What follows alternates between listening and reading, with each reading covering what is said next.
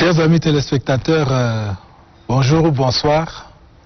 Merci donc de nous rejoindre dans Les Belles Lettres, votre magazine qui vous amène à la découverte aujourd'hui de deux jeunes qui ont coécrit un recueil de petits récits intitulé Le chemin de mon école paru aux éditions Almouna en 2021. Les auteurs, les auteurs de ce recueil, qui sont nos invités aujourd'hui, s'appellent le premier Sharfadine Tahir Oumar et Issa Heri Kamis. L'ouvrage est un recueil de, 4, de 108 pages composé de 98 petits récits. Euh, C'est en effet l'histoire d'un enfant du nom euh, Kember qui a commencé comme enfant bouvier avant de continuer comme euh, élève de l'école coranique pour finir à l'école occidentale. Un parcours donc semé d'embûches qui finit par la mort de ses deux parents géniteurs à la même période. Mesdames et messieurs, je vous présente donc nos invités dans un tout petit instant. Sharfadine Tahir Oumar est né le 16 avril 2002 à Amdjaras dans la province de l'Enedi-Est. Il fait ses études primaires à Amoun de Farsha, puis le secondaire à Béché au lycée bilingue Mohamed Itno, où il obtient le BEF, brevet d'études fondamentales, et le baccalauréat série D. Sharfadine Tahir Oumar se présente aujourd'hui comme un partisan de paix, du vivre ensemble et considère la lecture et l'écriture comme un loisir. Issa Heri Kamis est né le 15 mars 2002 à Mdjaras, dans la province de l'Enedi-Est aussi. Il débute sa scolarité à l'école primaire Amoul de Farsha. Il poursuit donc sa formation secondaire au collège adventiste du 7e jour de N'Djamena, où il obtient le brevet d'études fondamentales. Puis, il continue au lycée euh, scientifique euh, Carmel de Rosal avant de rejoindre Alpha 3 de Doudji Lokar. Amoureux et passionné de la lecture, il s'intéresse aujourd'hui à l'écriture. Voilà pourquoi donc il signe avec euh, Sharfadine Tahir Oumar son premier produit, Le chemin de mon école. Bonjour Sharfadine Tahir Oumar. Bonjour. Bonjour euh, Issa Eric Kamis. Bonjour. Voilà. Bien, euh, l'ouvrage porte deux noms. Dites-nous un peu comment vous avez géré la co-rédaction. Sharfadine. Merci de nous avoir fait l'honneur sur ce plateau. La co-rédaction de ce roman, c'était un exercice très difficile, mais nous avons réussi à surmonter, surtout avec euh, le progrès aujourd'hui technologique qui nous facilite un peu les tâches. Nous avons commencé à coécrire ensemble en partageant les idées, en livrant des messages et ainsi de suite nous avons commencé à ce qu'on appelle à écrire complètement le livre là jusqu'à la publication.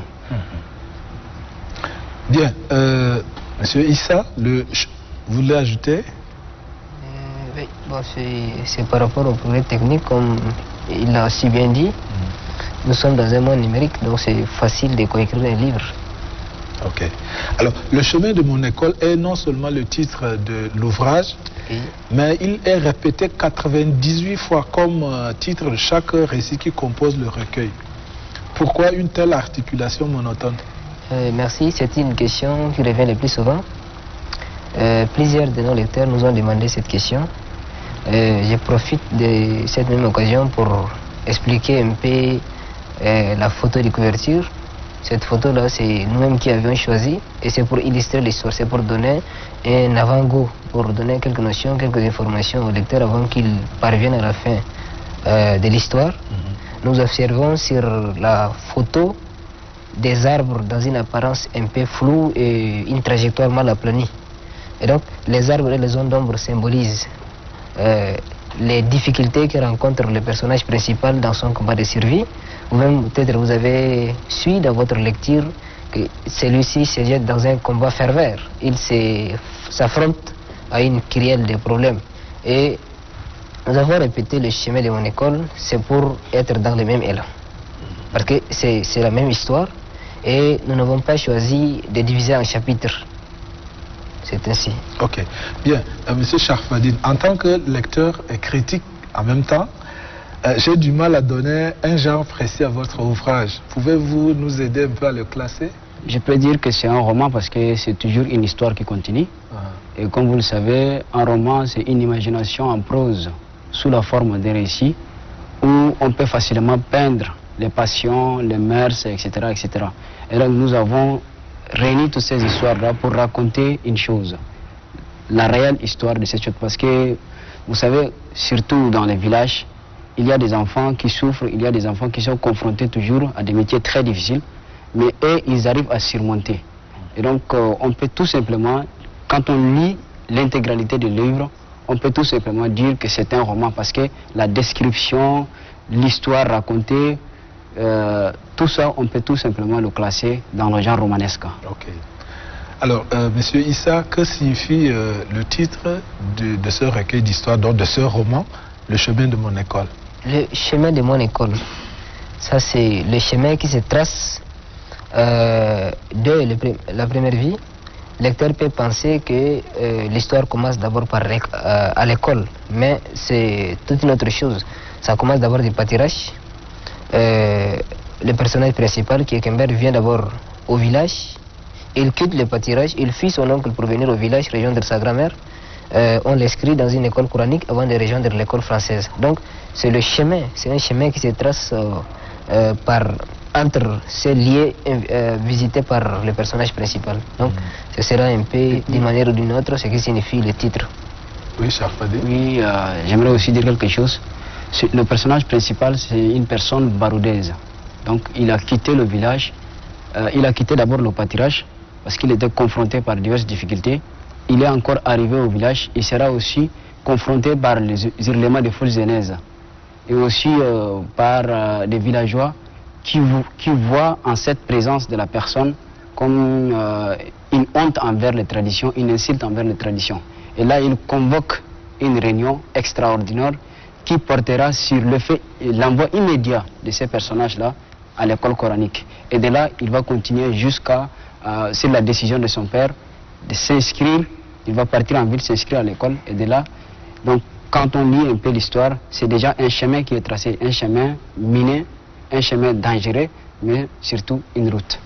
Alors, vous avez aussi, euh, je peux le dire ainsi, caché euh, pendant longtemps l'identité de votre personnage euh, narrateur qui s'appelle en fait Kember jusqu'au 16e récit. C'est là où vous, vous nous faites découvrir son nom. Pourquoi un tel suspense? Comme vous le savez, la littérature, c'est quelque chose qui a été toujours caché. Et vous savez, l'inspiration, c'est aussi une chose qui n'arrive pas toujours. Et donc nous avons préféré cacher le personnage principal. On a hésité d'abord à donner plusieurs noms. Quand on donne par exemple un nom Mohamed, on se souvient d'une personne qu'on connaît. Quand on donne un nom Ali, on se souvient. Quand on donne un nom comme Justin, on se souvient de la personne. Donc euh, on a préféré un peu garder secrètement ces personnages-là.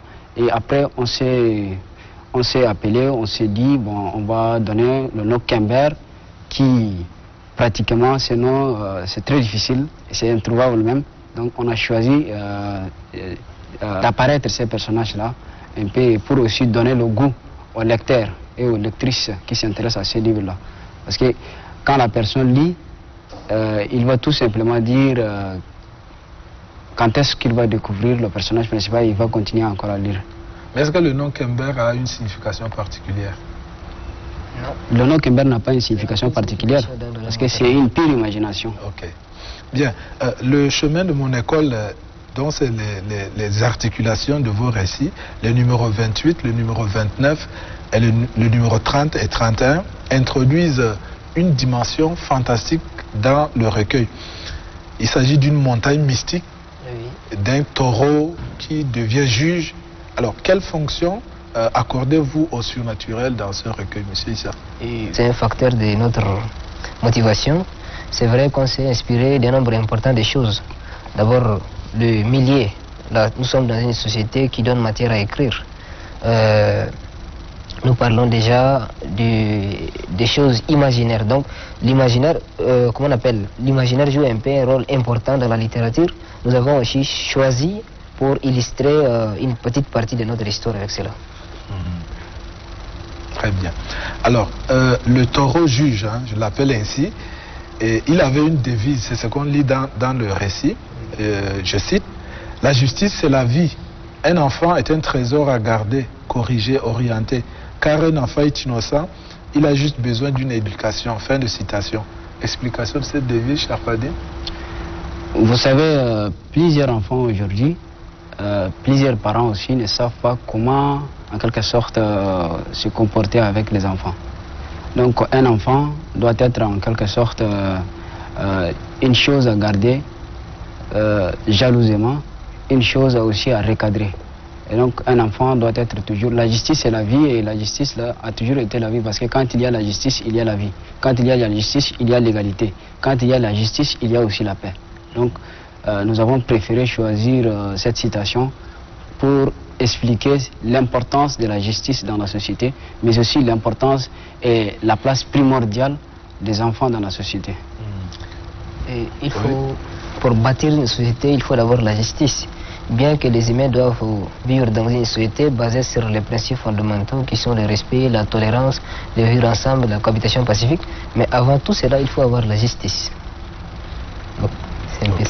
Alors, M. Charfadine, euh, Kember, donc votre personnage principal, a fait beaucoup euh, face à, des, à beaucoup d'épreuves. Quelles leçons tirer de sa vie? Il y a plusieurs leçons à tirer sur la vie de Kember comme nous pouvons le lire et nous pouvons remarquer durant notre lecture, que la vie a toujours été une difficulté. La vie a été toujours une épreuve à surmonter. La vie a été toujours en quelque sorte euh, euh, un, terrain miné où il faut tout simplement éviter les obstacles.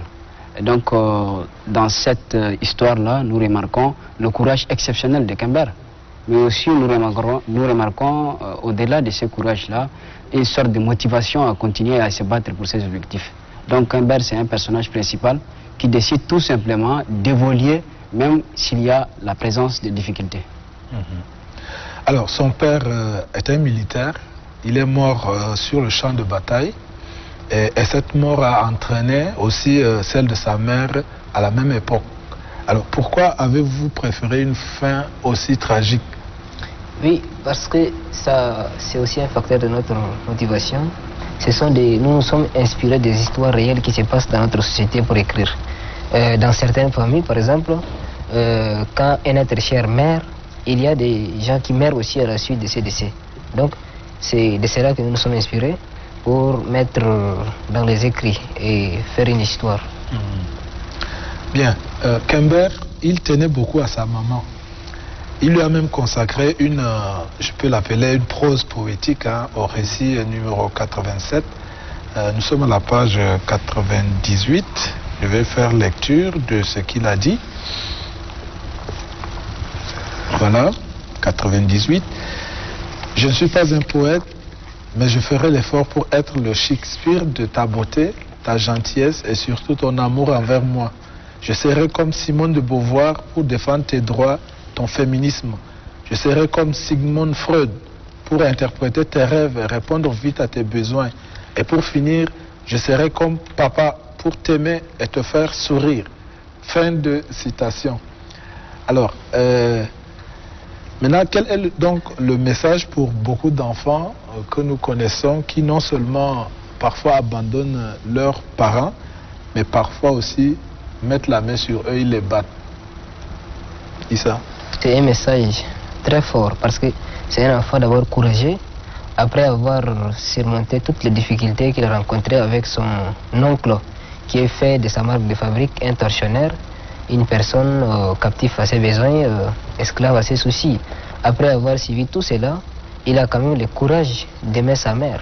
Et donc, c'est une manière de lui consoler, même s'ils sont dans une, dans une société euh, qui les humilie dans une société, euh, qui les met dans une classe sociale un peu faible, il a quand même le courage d'encourager sa mère et de lui prouver son amour. et puis, et puis, par la même occasion, une chose, parce que les enfants, nous avons toujours tendance, nous les êtres humains, à considérer nos mères comme nos héroïnes. Donc euh, c'est en quelque sorte une prose qui est consacrée à, ces personnages-là pour dicter la valeur de sa mère mais aussi pour apprécier sa mère. Parce qu'un enfant considère sa mère comme un être surnaturel, comme un extraterrestre. Donc, euh, il a consacré ces proses-là pour illustrer la beauté de sa mère, pour illustrer le courage de sa mère, pour illustrer la tendresse de sa mère. Très bien. Alors, Monsieur Charfadine, dans votre euh, bio-bibliographie que nous venons de lire, l'on note que vous êtes un partisan de paix euh, et de vivre ensemble. Euh, en quoi votre première œuvre, donc Le chemin de mon école, est-elle le reflet de vos aspirations? Bien évidemment, oui, c'est une imagination qui, en quelque sorte, dicte mes objectifs. Et vous savez, nous les jeunes, surtout la jeunesse tchadienne et la jeunesse africaine, nous devons être unis, nous devons être euh, en quelque sorte des ambassadeurs de la paix, nous devons être euh, euh, les pasteurs ou bien les imams pour la paix, pour l'unité entre les Tchadiens, pour l'unité entre les Africains. Nous devons beaucoup plus s'intéresser aussi au sujet de vivre ensemble, à ce qui nous unit plutôt qu'à ce qui nous différencie ou bien à ce qui nous divise. Et donc nous devons plutôt s'intéresser à ce qui nous fait évoluer. Et donc soulevons surtout euh, le tricolore ou bien soulevons ce qui nous définit dans notre société et avançons main dans la main pour construire cette société. Ok. Bien, euh, pour terminer, en tant que lecteur aussi et en même temps critique littéraire, je vous l'ai dit au départ, la portée des petits récits est un, petit peu entachée par euh, beaucoup d'incorrections d'ordre orthographique et grammatical. comment cela est-il arrivé jusqu'à l'édition? Eh bien, c'est une question de formation. Nous avons été sous-informés euh, avant de déposer notre tapisserie à la maison d'édition. Donc, quand il y a des fautes encore dans, dans le livre, c'est la faute de la maison d'édition. Parce que dans une maison d'édition, il doit avoir un comité de lecteurs qui doit diriger, qui doit d'abord corriger le livre avant de publier. Donc, quand il y a toujours des problèmes, quand il y a toujours des erreurs dans le livre, c'est un problème qui vient de la maison d'édition. Oui, encore, euh, nous ne devons pas en quelque sorte exercer la farce d'Irendo ou bien se victimiser en disant que c'est toujours la responsabilité entière est à la maison d'édition. Donc l'être humain n'est jamais parfait. Peut-être que nous avons aussi commis des fautes, mais sur l'intégralité de notre lecture, nous avons pu remarquer aussi que ce qu'on a déposé comme un fichier numérique ne comportait pas plus de fautes que ce qui a été en quelque sorte publié. Donc euh, il fallait beaucoup plus accorder attention particulière à certaines fautes-là malheureusement, sur les prochaines éditions, nous promettons en quelque sorte une amélioration. Très bien. Bien. Euh, oui J'ai un petit message à passer avant. Voilà. Donc, nous sommes euh, presque arrivés à la fin. Donc, si vous avez chacun de vous un dernier mot. Oui, euh, moi personnellement, j'ai souvent l'habitude de répéter quelque chose à mes amis, à l'école, au quartier, tout comme à la maison. Je disais qu'il n'y a pas une société lorsque les citoyens ne s'aiment pas. Il faut de l'amour, de l'acceptation de l'autre. Chaque Tchadien doit vivre pour l'autre afin qu'on puisse garantir le vivre ensemble et la cohabitation pacifique. C'est l'élémentaire des choses pour avancer. C'est un secret de polichinelle. Mais quand il y a des gens qui pensent qu'il faut se venger, c'est cet esprit de vengeance et de la rancune qui favorise aujourd'hui notre désaccord, qui nous divise en deux camps. Donc, il faut que les Tchadiens, dans leur ensemble, comprennent que cet esprit de vengeance est en train de nous conduire à notre disparition totale. Parce que quand les gens meurent dans les hauts géographiques, c'est nous mêmes qui mourrons. Parce que nous, sommes tous les enfants de Toumaï. Et ces conflits intercommunautaires-là, on, on, doit les arrêter. Et ce n'est pas un ange qui va descendre du ciel pour les arrêter. C'est Tchadiens eux-mêmes qui, qui doivent s'attendre, qui doivent s'aimer entre les uns des autres pour arrêter.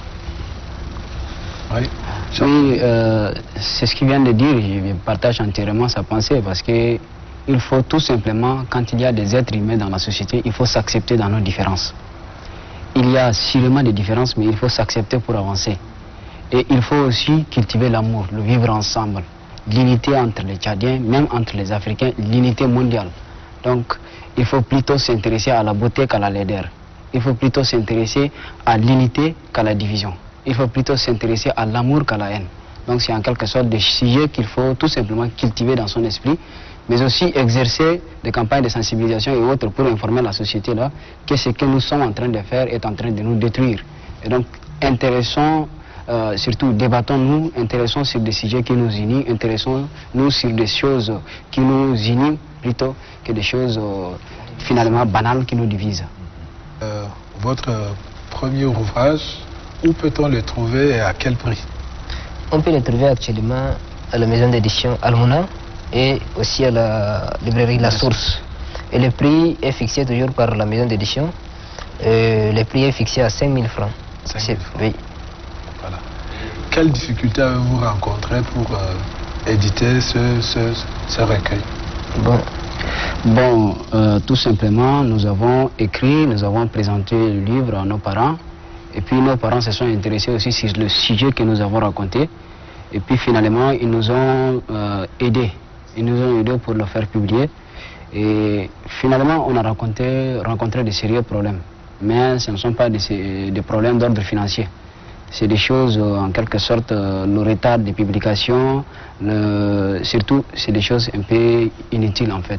Mais sinon, la publication a été abordable et nous avons pu publier sans aucun problème. Et comme, comme il a si bien dit, nous avons certainement rencontré des problèmes dans le projet de notre écriture, mais ce ne sont pas des problèmes qui nous ont empêchés d'arrêter le projet ou d'atteindre le but fixé. Donc, euh, nous préférons même taire les noms. Ce sont des problèmes dans la plupart bénignes. Alors tout de suite, nous passons à la lecture d'un extrait de cette œuvre. Mais voici tenant une bouteille contenant des mille, un peu d'eau et une petite quantité de sucre. Le corps emprisonné dans la jalabia blanche, la tête enchaînée par un mini turban, les pieds calmatés par des kijing Derrière mes moutons, j'ai catapulté des cailloux. Je dois avoir 4 ou 5 ans. Non, je serai un peu grand. Monsieur Charfadine et Monsieur Issa, merci beaucoup donc d'être venus et d'avoir répondu à nos questions. Merci à vous aussi. C'est à nous de vous remercier. Merci, Merci, pour votre travail. Merci pour votre travail. Chers téléspectateurs, nous sommes arrivés à la fin de notre entretien. Nous vous remercions infiniment, mais je rappelle simplement que nous étions en compagnie de deux jeunes. Il s'agit donc de Charfadine euh, et de M. Issa, qui ont coécrit euh, euh, leur ouvrage, leur roman intitulé Le chemin de mon école aux éditions Almuna en 2021. Merci donc à vous de nous avoir euh, prêté oreille. Restez toujours en compagnie des programmes de votre chaîne Téléchat. Au revoir.